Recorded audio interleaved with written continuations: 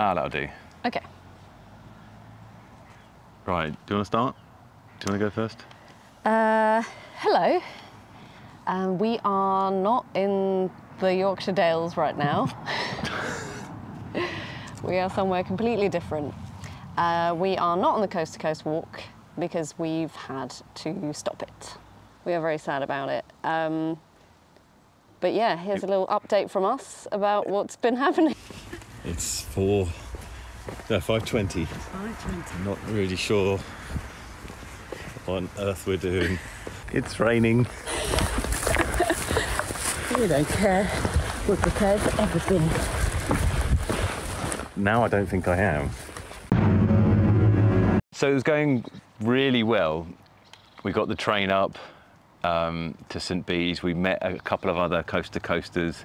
They were similarly like, we've never done anything like this before. It was really exciting for, for all of us, just chatting away on the train. And we got to St Bees, we started walking.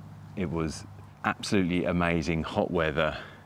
The packs were quite heavy because we were just in our like lightest shorts and, and t-shirts and yeah, just uh, chugging along really nicely. I don't know what to say. It's so beautiful. just walking by the Irish Sea, past some beaches and stuff like that. It's just absolutely stunning. I, I have no words. I don't think I'd realised that it was going to be this beautiful at the start. Just amazing. I've had to change my clothes because I was wearing way too much. It's really warm. I mean, you look like an ultra marathon runner, so. and uh, we, we were a couple of miles short of our end of the first day uh, stopping point, uh, but that's what we expected because we were travelling up, uh, obviously travelled up early in the morning, uh, and that was okay. I'm uh, warm, but I'm quite grateful for that. my feet are okay, thanks to you, Jon and uh, feeling good. Where are we? Uh, we are uh, on day one. And we slept on top of uh, a hill. It was beautiful, a lovely sunset, a very lovely place to be. We head off on our second day with quite a few miles to cover. Uh, another beautiful day, uh, really demanding with the packs and everything, tough, uh, a lot of, you know, a lot of miles and, and, quite tough work, but it was exactly what we wanted to do, so we were very happy with that. Uh, yeah, it was just quite, quite a tough day, but it was going well. It was. We went round Ennerdale, which was the, uh, which is a lake, and uh, a very long one, but it was rocks and roots underfoot, really, uh, really hard going. Mm. You think walking three miles is going to be uh, is pretty straightforward, like for, and it certainly is straightforward for us. But the terrain was difficult. We were scrambling at times, and uh, with the packs and the boots, it was very hard on the feet, wasn't it? Yeah, it was. Yeah, but we were kind of just yeah, we were doing really well. But what happened at the end of uh, second day? We are walking up a very steep hill uh, which uh, made us feel like we could do anything. We could conquer the world. We just uh, we looked down at where we'd been and, and we are like, oh my god, we walked up there. It was it was very steep, but then you have to go down again as well. We were like, we can do anything. no, we, we we didn't think we could get up this hill tonight, and we did it. Like we were super pumped and and uh, proud of ourselves. Yeah. And then on the descent uh, into Honister slate mine, so really really steep descent tough going, uh, the toughest bit, I think, physically. Mm. And the first few days in the Lake District are the hardest, uh, by all accounts. Um, I uh, started getting a pain in, in my calf. So, as I mentioned in the previous video, uh, my Achilles were, were both um, a bit of tendonitis in both Achilles. So, instead of uh, instead of like dorsiflexing the foot on the way up, this hill that we went up uh, in the, the, at the end of day two, um, I was doing like a sort of tiptoe, you know, like doing it like this.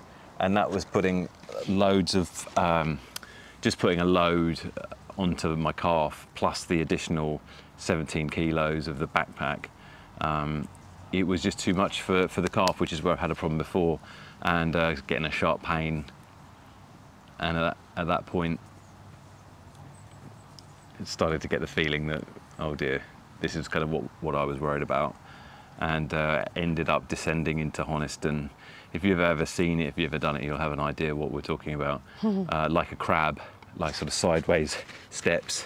Yeah, you couldn't really walk properly, I couldn't walk properly at all. and uh, we just kind of had to uh, um, to make a decision. We were wondering that evening if maybe we could, you know, rest a day and, and see if you could uh, recover. But really, when that when that injuries come back, then then it's kind of too late. If you can't walk properly, uh, you can't really go on a hike, let alone a hike in uh, the Lake District carrying a heavy pack. So uh, we were very sad about it. Uh, quite a few tears in the morning. Yes, The next day, uh, realizing that we basically had to uh, to come back to this walk at some other point. So we uh, headed home and had a travel day from hell on the trains home, but that was fine because I think at that point we uh, we were just sad that we weren't at the lakes anyway. So anything would have been been sad. But yeah, we we travelled home because Jon has to be able to, to walk in the future as well. We can't kind of destroy our bodies uh, and ignore injuries uh, to do this. So, uh, so we've had to put it on pause and uh, we're going to come back and do the walk next year, already planning it. Um, trying to find the time time off because obviously we'd worked hard to, to get this time off. Yeah. So you know it's not very easy for us. But we are very excited to do it again. We are planning to do it hopefully in the spring next year. Uh, so we're going to keep the um, fundraiser open. Uh, we've uh, I've extended the the closing date of that till summer, about a year from now, basically. So we will keep that open. We have reached 77% uh, of our goal. So thank you so much, everyone who's donated. Um, it's it's really keeping us going, especially now that we kind of have to.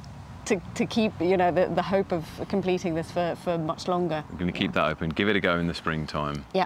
I'm already plotting my uh, my rehab and uh, gonna get calves from hell.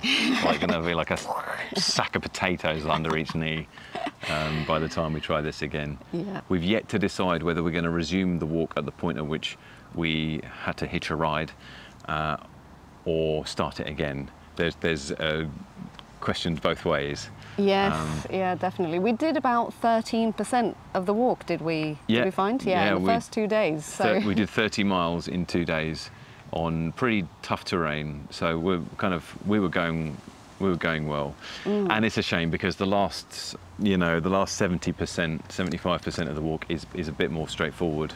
In, it's like it's more just walking than than scrambling um, and and fell climbs. Uh, so we had another day or two of tough of tough walking, and then it would have been easier. So we just pushed too hard on day two, trying to make up the time. Um, and you know maybe there's a lesson in there for us in terms of doing long walks in the future. But yeah, we are we're very disappointed. We've now got all this time to fill, um, so we're just uh, reflecting on it, and I'm looking at ultralight hiking gear online. yeah, in conclusion, uh, it's quite interesting to fail, and it is it is a failure, however however you look at it. But it's not a permanent failure. It's just we didn't make it this time, but we are 100% going to give it another go unless unless something changes in our lives. Um, and I'm excited about doing it again and completing it, and I think that's going to feel quite special when we when we do that. yes, indeed. I feel confident. I know there's going to, you know, people will be a bit disappointed on our behalf, and yeah, it's we're not giving up on it, and we're going to come back stronger and smash it. Smash it. Smash it. Bye. Bye. Bye. Do we need to sign up a little bit better than that? Don't know what else to say. Let's leave it there.